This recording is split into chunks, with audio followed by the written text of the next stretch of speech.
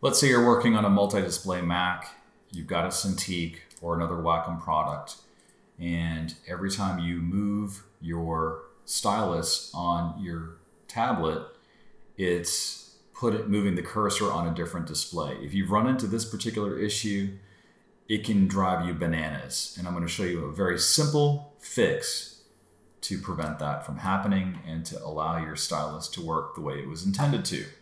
So you want to first of all launch your Wacom Center app. Then on the very top tab where you have the name of your display, uh, choose Advanced.